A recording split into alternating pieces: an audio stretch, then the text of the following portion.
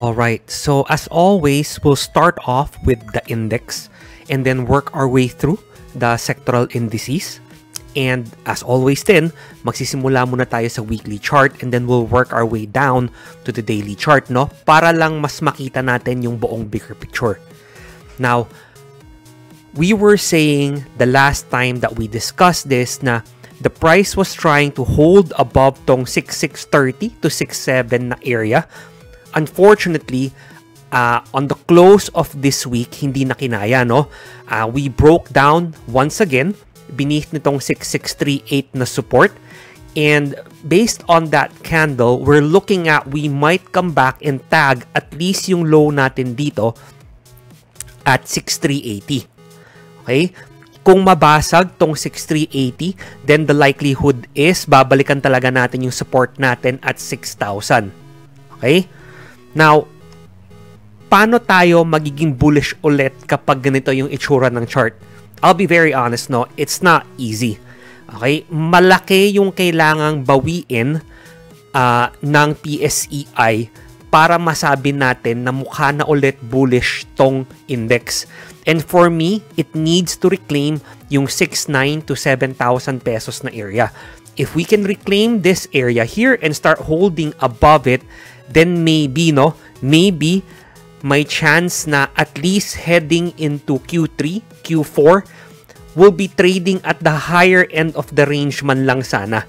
'Di ba? Para mabigyan ng opportunity na alam mo yon kahit sa Q3 we can trade dito sa higher end ng range. Maybe sa Q4 mabigyan ng chance na mabasag yung 7.5. Am I optimistic that that's going to happen? No. But hindi ko pangungunahan yung market. Sino ba naman ako? Nagbabasa lang naman tayo ng chart.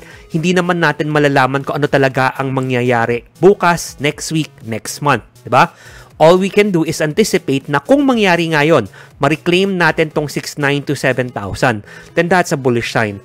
But for now, dahil sa nangyayari, as long as we're beneath that, um, I am more bearish than bullish. And if we break beneath tong 6,3, yun nga, I think the best na may expect na natin nun for the remainder of Q2, Q3 uh, is either mag-range tayo sa wide range na to at kung hindi mangyari yon baka mabasag yung 6,000 altogether and we might come back and revisit tong 5,7 na area. Okay? Now, let's drill down to the daily time frame para lang mabasa natin with greater detail, no? So, as you can see, yung galaw talaga niya, yung like ko sinasabi, parang coloring book lang. We broke down, we came back up, tested tong area na to, di ba? Itong previous area of support. Now, turned resistance, na untog tayo. We broke down, price tried to hold, hindi kinaya, we broke back beneath tong 6638 na level. Now, from there, once again, we're watching out na kasi kapag ganito nabasag pa niya tong swing low natin from before at 6574 talagang it's giving the impression na it wants to go revisit tong low na to or revisit tong support eh. 'Di ba? Either scenario, it's not good for us. 'Di ba? At kung mabasag nga tong 62, 'di ba? Wala to sa weekly chart natin. Yun na, yung 6080 na nakita natin kanina. Now again, uh what we're seeing in the chart doesn't give great cause for optimism. Okay, right now, it's kahit dito eh, tignan natin kahit na yung mini pattern niya, uh, essentially nag-form tayo ng parang head and shoulders pattern that we broke to the downside, binasag natin yung neckline, 'di ba? So maybe it comes back, retest, tapos from there lumaban, untog na naman, baba na naman tayo. Uh, that remains to be seen, no? Ang pinaka masasabi ko lang based sa nakikita natin yun sa index is konting ingat lang guys. Hindi naman natin kailangan pilitin mag-trade eh. Let's use this time, 'di ba? Na instead na maghanap tayo at magpumilit na makahanap nung matindi or makachamba ng isang trade here and there, let's use the time to study, 'di ba? Mag-research tayo ng mabuti. 'Di ba? Kung I mean, it's a shameless plug, but watch some of my trading lesson videos. Or kung hindi sa kundi man sa akin, ayaw nyo sa mga trading lessons ko, that's fine, no? Go watch and learn from other people 'di ba? Para kung gumanda na ulit yung market conditions and inevitable naman yun eh. Maybe it won't be soon, but eventually gaganda at gaganda yung market conditions ulit eh. So kapag dumating yung punto na gumanda yung market conditions, at least mas handa na kayo. Huwag lang yung basta, ah, pangit, di ako mag-trade. So, shut down. Walang tingin na ng chart, hindi mag-aaral, hindi manood ng videos, hindi magabasa ng libro. ba? It doesn't promote self-improvement eh let's use this time na hindi natin kailangan maging sobrang busy mag-manage ng trades, hindi natin kailangan maging sobrang busy na mag-aral or maghanap ng uh, trades here and there, tingnan lahat ng chart. Let's use this time instead for something more productive. Let's update our journals. Let's study more. Diba? Let's talk to other traders. Let's take this opportunity na gumawa ng ibang bagay na mas makakatulong sa journey natin rather than just staring at charts na for the most part wala namang pinupuntahang maganda. Next, tignan natin yung mining, no? So, the last time we talked about this, sabi natin it might come back and revisit yung resistance dito around 12.4 and it did, no? Pero nag-reject siya. ba? Bumalik tayo dito, nag-reject. So, it's looking like we might be forming a lower high here. And yung confirmation nun is if price comes all the way back and breaks beneath the swing low. Kapag nangyari yon, then for me, this is gonna look very, very bearish na. Uh, ang next level of support obviously will be 9.9. Diba? Maybe we trade within this range ng pangsamantala but uh, it's not gonna look bullish at all. Parang nasayang na kasi tong move up na to eh. Diba? So, konting ingat lang. Yes, compared sa ibang mga sectors, this is still looking better but that doesn't necessarily mean that a trade is available here. Diba? Or that at grade A plus or yung uno, 'di ba, na trade ay present. So, konting ingat lang po. Let's see what happens next. Hopefully, we can reclaim tong 12.4 sooner rather than later para may chance na mabalikan natin tong 13.5 na area followed by 14.5 should that break. Uh, next, tignan natin yung financials. No? Now, yung financials, again, uh, we formed some type of head and shoulders pattern here. Nabasag na yung neckline though one could argue na dapat ito yung mabasag. I would be one of those people. Okay, but we can also say na yun nga, nabasag na yung neckline na yan, we broken down, came back, tested yung neckline, rejected, and now it's looking like we're pushing further to the downside. Now, Etong 1,511 is yung key level natin dito sa financial. Siya yung inflection point natin eh. Meaning, it acted as support here, resistance, resistance, and support. So, kung yan mabasag, yung next na likely mangyari is babalik tayo sa previous range na to. In fact, it wouldn't surprise me kung bumalik to dito tapos mag-trade tayo ng parallel. Parang kung ano yung itsura nito, magiging parang ganito rin yung itsura dito. Diba? It wouldn't surprise me at all if that happens. But kung nabasag tayo, tapos, nabasag pa natin tong low ng range na to at 1,300. Then, this is likely gonna dig much deeper. Baka balikan natin tong mga lows na naiwan natin before. Now, again, para maging mas bullish ngayon, we need to come back at least and retake etong high na to at 1.7. If we can retake 1.7, that reopens the possibility na mabalikan natin yung 1.771. And if we can break that, maybe mabalikan tong 1.960. But for now, again, similar sa index, similar sa mining, it's not looking good, no? Uh, regardless of how you want to read the pattern, it's not looking good at all. So, konting iwas-iwas muna tayo unless meron kayong mga inaabangan at yung mga research levels nyo, mga valuation levels ng mga financial stocks, then, of course, kung umabot doon, you go for the jugular, no? But for now, where it is, as well as yung mga stocks na under sa umbrella na to, uh, I would advise na konting patience muna, wait for things to play out before deciding to show your hand. Now, dito sa Indu, uh, technically speaking, wala namang ganun nangyari, no? Uh, when we last looked at this, nandito tayo sa candle na yan, di ba? But we said na it was trading within the range of this green candle here. So essentially, nandun pa rin tayo sa range ng green candle na yon. But, uh, if you want to look at each candle in succession, kung baga, what has been going on if you zoom in is we've been breaking beneath the low of each candle. So it wouldn't surprise me kung from here, number one, we at least come back and tag yung support at around 8.9. Tapos, kung hindi mag-hold yun mabasag, then likely we revisit these lows here. Now, para maging bullish ulit, we need to see this take out tong 10,000 na level. If we can come back and start trading above 10,000, then magiging mas bullish ulit yung itsura ng chart and it gives itself the chance na mabalikan tong resistance area above between 10.9 and 11.1. Okay, but for where it is right now, um, again, if you zoom in, makita natin it just keeps breaking yung previous candle's low. So, it's not looking great as well. Uh, next, tignan natin yung properties. No? Now, as we said, we were essentially trading within the range of this leg. Hindi nga natin nabalikan yung high end niya eh. So, we considered na it was possible na ito yung range na tinatrade natin. Then, these were overshoots here and here. Okay? Now, let me remove that so we can zoom in a bit.